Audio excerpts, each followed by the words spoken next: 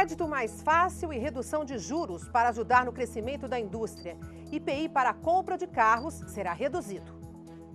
O Brasil possui as condições, talvez até mais favoráveis que outros países, para reagir mesmo a um agravamento da crise e continuar na trajetória de crescimento. Você vai ver também. Aqui em Laguna, litoral sul de Santa Catarina, a presidenta Dilma anuncia investimentos para a construção de uma nova ponte nesta lagoa para desafogar o trânsito na BR-101. E presidenta Dilma diz que o Brasil resistirá à crise econômica internacional, gerando empregos e investindo em infraestrutura. Nós estamos 100% preparados, 200% preparados, 300% preparados. Simples Nacional já tem mais de 6 milhões de adesões de pequenas e microempresas e empreendedores individuais. Liberados mais de 6 milhões de reais para implantação de quase mil equipes de saúde bucal. O NBR Notícias começa agora.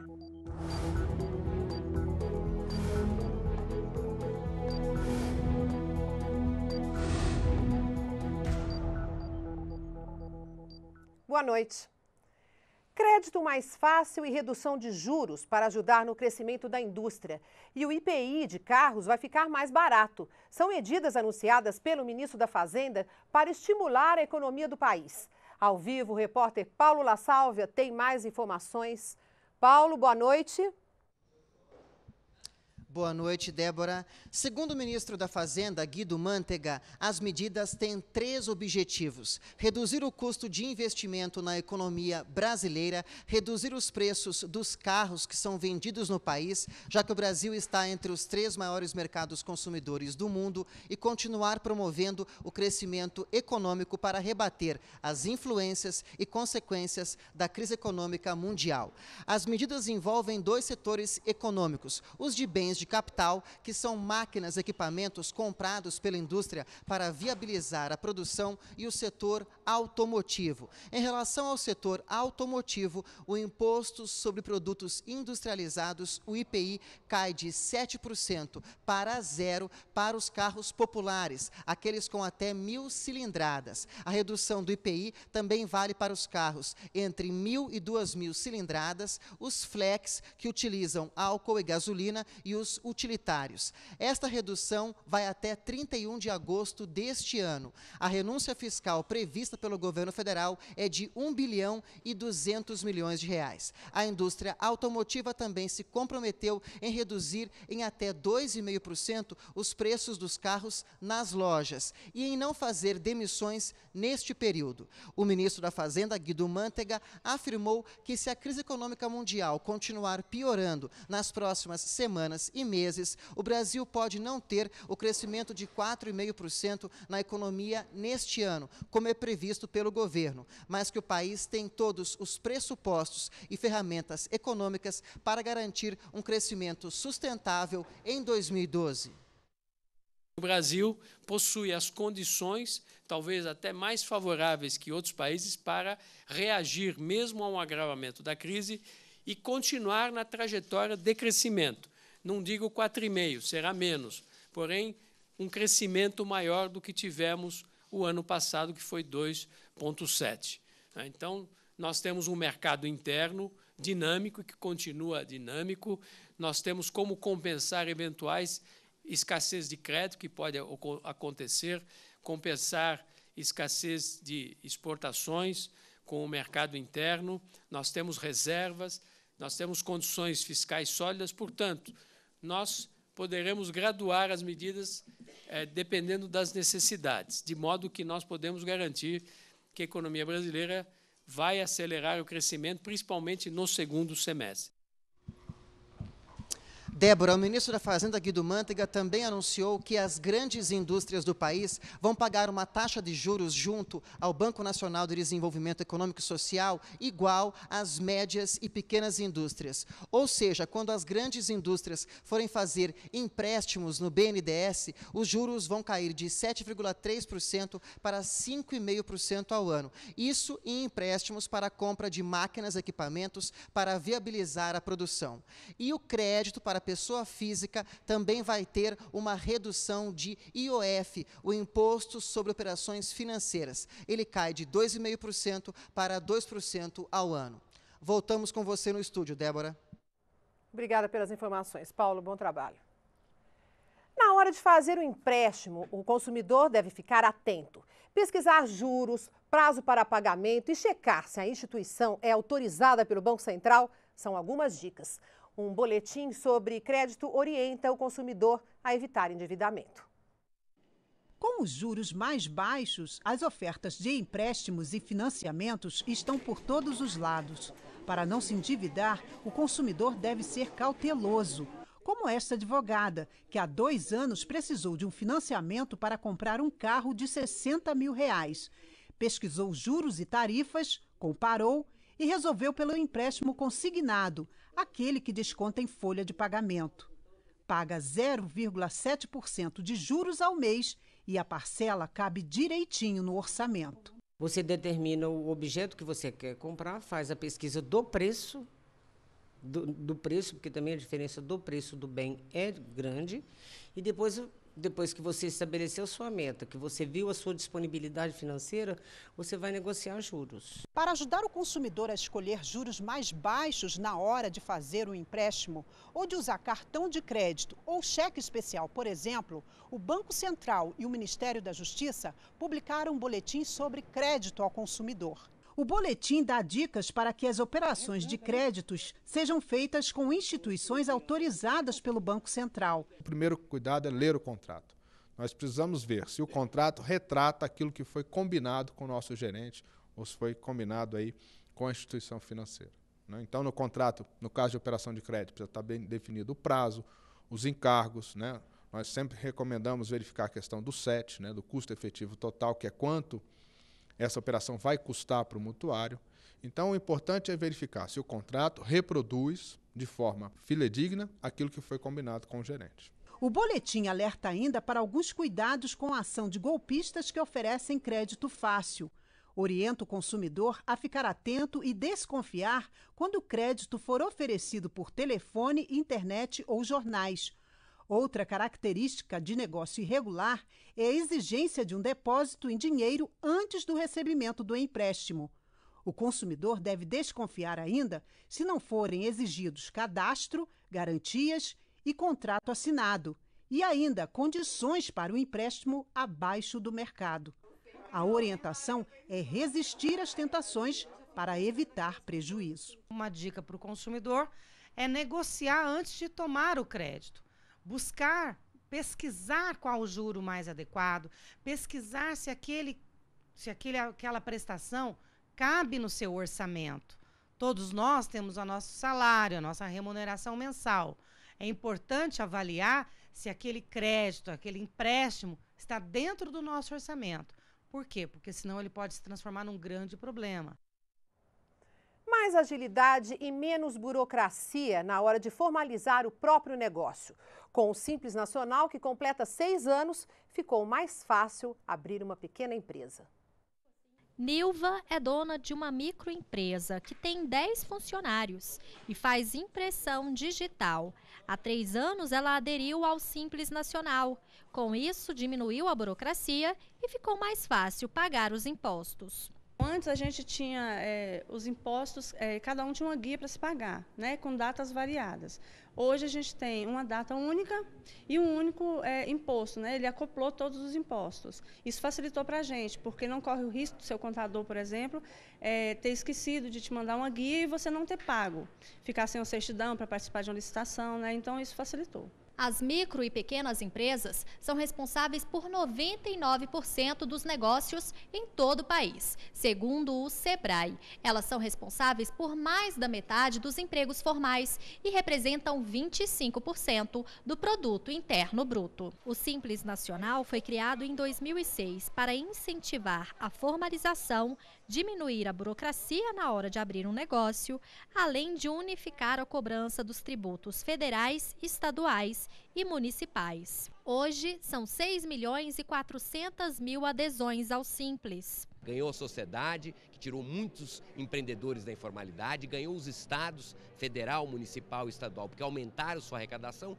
e ganhou a sociedade. As metas foram alcançadas, o número de empresas que aderiram ao Simples tem aumentado consideravelmente e a gente nota isso principalmente a partir da instituição do MEI, que é o microempreendedor individual, e do aumento do faturamento para as empresas poderem ingressarem no Simples. Um seminário em Brasília discute como capacitar servidores da Receita Federal e das secretarias de Fazenda de estados e municípios, além de inovações. Uma novidade é a ampliação do cadastro unificado, a rede Sim. Já eliminamos a declaração anual e outros avanços virão, principalmente é, em relação ao cadastro unificado, é, o Rede Sim, que começa a se expandir para todos os estados da, do país.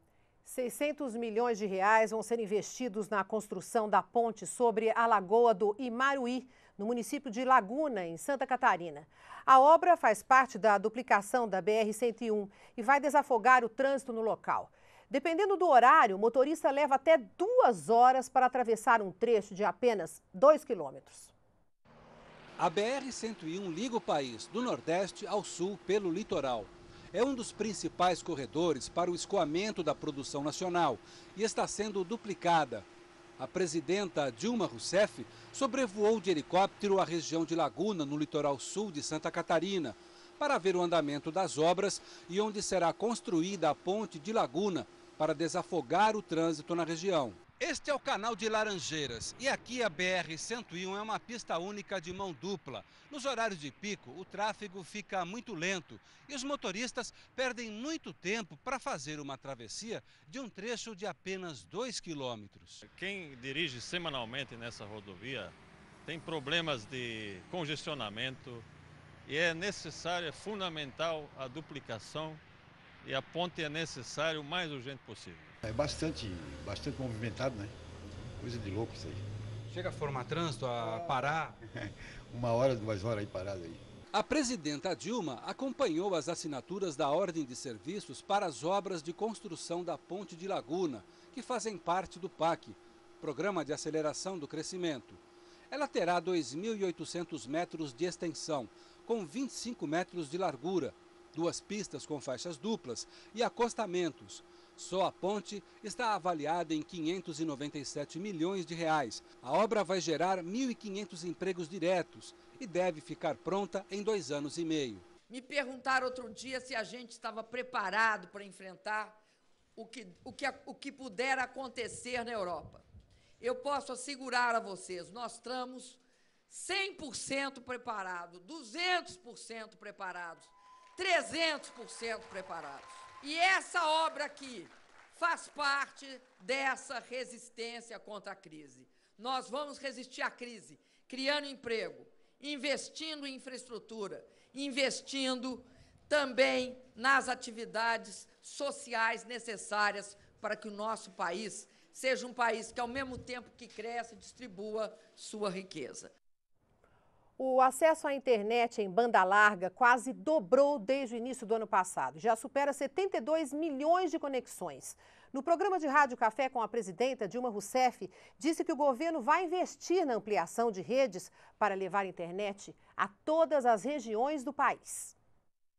Do início do ano passado para cá, as ligações de internet em banda larga quase dobraram. Chegamos agora a mais de 72 milhões de ligações em banda larga em todo o Brasil. Outro dado muito importante é que as conexões à internet também estão chegando às casas das famílias brasileiras. Cerca de 6 milhões de famílias que não acessavam a internet em casa passaram a contar com esse serviço, com o Plano Nacional de Banda Larga. Hoje, 95% das escolas públicas urbanas de ensino fundamental e de ensino médio têm conexão de internet em banda larga. Nós temos a Rede Nacional de Educação e Pesquisa, uma rede de altíssima velocidade que vai chegar a todos os 735 campos do interior e das capitais até 2014. Graças a uma série de medidas do governo federal, como corte de impostos, Os computadores e os notebooks e até mesmo alguns modelos de tablets estão cada vez mais baratos. O governo federal vai investir diretamente por meio da Telebrás na ampliação de redes que levem a internet a todas as regiões do país. E o Brasil fechou o mês de abril com quase 253 milhões de, de, linhas ativas na telefonia móvel. O número de novas habilitações chegou a 2 milhões e 200 mil, o maior para o mês de abril nos últimos 13 anos. Os celulares 3G, banda larga móvel, totalizaram 54 milhões de acessos, um crescimento de quase 5% em relação a março. Os dados são da Anatel, Agência Nacional de Telecomunicações. A partir de agora, mães que foram atendidas pelo SUS vão poder avaliar os serviços prestados desde o pré-natal até o parto da criança. A iniciativa faz parte da Rede Cegonha, criada no ano passado para dar um tratamento mais humano à mãe e ao recém-nascido. Os contatos são feitos por telefone pela ouvidoria do Ministério da Saúde. De alto risco, eles... Adriana teve bebê há dois meses. A mãe da Maria Eduarda teve uma gravidez de risco e fez o pré-natal e o parto pelo Sistema Único de Saúde. Adriana já recebeu a ligação da Ouvidoria Geral do Ministério da Saúde e aprovou a iniciativa. Foi maravilhoso saber que eles se preocupam, né, com, não só comigo, mas as outras mães, né, que que está passando pelo que eu estou passando, que teve que tem gravidez de alto risco. Então, para mim foi tudo de bom. De acordo com o diretor ouvidor do Ministério da Saúde, Luiz Carlos Bolzan, é importante para a qualidade da rede cegonha que as mulheres respondam às questões feitas pela ouvidoria. A nossa intenção é poder aproximar o Estado brasileiro, através da ouvidoria, da população de mulheres que utilizam o SUS para fazerem os seus partos, os seus pré-natais e terem os seus filhos. A importância é nós darmos voz à população brasileira para que ela possa avaliar o serviço que ela mesma utiliza. Num primeiro momento, 75 mil mulheres devem ser consultadas sobre os serviços prestados no SUS. A partir das opiniões apresentadas, o Ministério pretende promover adequações no sistema. Dessa forma, nós podemos avaliar o tipo de, de resposta que as mulheres dão, o grau de satisfação que elas têm e os tipos de reclamações ou denúncias mesmo que elas possam vir a fazer. Nesses últimos casos, nós teremos informações suficientes para podermos fazer adequações e ajustes, não só o Ministério da Saúde, mas o Ministério junto com as gestões locais, municipais e estaduais. As primeiras mulheres entrevistadas fizeram os partos nos meses de março e abril deste ano. Quem quiser fazer avaliação e ainda não recebeu o telefonema, pode ligar para o Disque Saúde ou acessar o site do Ministério. Liberados 6 milhões e 300 mil reais para implantar quase mil equipes de saúde bucal. Os recursos vão atender diretamente 58 municípios em 15 estados. As equipes também vão receber 1.150 cadeiras odontológicas do Ministério da Saúde. As ações foram publicadas hoje no Diário Oficial da União e integram o programa Brasil Sorridente. No país, existem mais de 21 mil equipes que fazem o acompanhamento da população, desde a prevenção até o tratamento clínico. Segundo o Ministério da Saúde, com este trabalho, podem ser evitados problemas mais graves e a perda de dentes por parte da população. O objetivo é reorganizar a atenção básica em saúde bucal, ampliar e qualificar a atenção especializada, além de viabilizar a adição de flúor nas estações de tratamento de águas de abastecimento público. Outra portaria publicada hoje prevê a liberação de 14 mil reais para implantar quatro unidades odontológicas móveis, que vão atender municípios em Minas Gerais, Pernambuco, Rio de Janeiro e Paraná. Como melhorar a vida do jovem que vive no campo? As políticas públicas voltadas para a juventude do campo e da floresta estão em discussão em Brasília. A repórter Patrícia Scarpim conversou com o ministro do Desenvolvimento Agrário e tem mais informações. Até quinta-feira será realizado aqui em Brasília o primeiro Seminário Nacional de Juventude Rural e Políticas Públicas. E quem vai nos dar mais detalhes sobre esse evento é o ministro do Desenvolvimento Agrário, Pepe Vargas. Boa noite, ministro. Que, que tipo de iniciativas podem sair de um evento como esse? Acho que o mais importante é que os próprios sujeitos dos direitos de acesso a políticas públicas, que são os jovens rurais, possam fazer uma análise da efetividade das políticas públicas que hoje são disponibilizadas para a juventude rural. Existem políticas públicas, algumas uh, uh, com pouca efetividade, outras com mais efetividade. E principalmente apontar no olhar da juventude rural o que pode ser feito para aperfeiçoar essas políticas públicas em favor da juventude rural.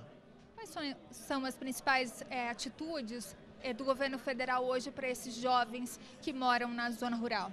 Bom, no que diz respeito ao Ministério do Desenvolvimento Agrário, nós temos sobre responsabilidade o programa, o Pronaf Jovem, que é um programa de acesso a crédito para o jovem do meio rural. Nós temos a política de, de crédito fundiário, que é o programa Nossa Primeira Terra, que visa que o, o jovem possa acessar né, a propriedade rural. Nós temos assentamentos agrários, onde também parte dos assentados uh, são jovens. Né, e nós temos, portanto, um conjunto de políticas que permitem que o jovem possa ter acesso a meios de produção e para que ele possa ter inclusão produtiva. Algumas com maior efetividade, outras com menor efetividade. Mas tem outras questões, não é só isso. Né? Nós temos que pensar também a questão da educação, nós temos que pensar o acesso a alternativas para o seu tempo livre, para que o jovem efetivamente fique no meio rural e não migre para a cidade. Obrigado pelas informações, ministro. E quem também vai nos dar mais detalhes sobre esse evento é a secretária nacional de Juventude, Severine Macedo. Boa noite, Severine. Qual é a importância de um evento como esse?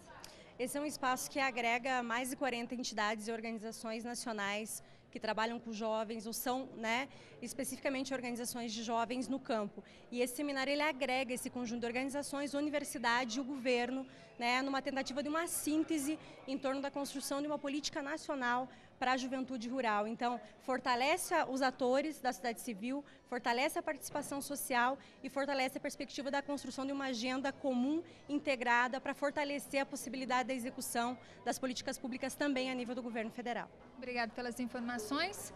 De Brasília, Patrícia Scarpim. Essa edição do NBR Notícias fica por aqui. Para você, uma boa noite e a gente se vê amanhã. Continue aqui na NBR, a TV do Governo Federal.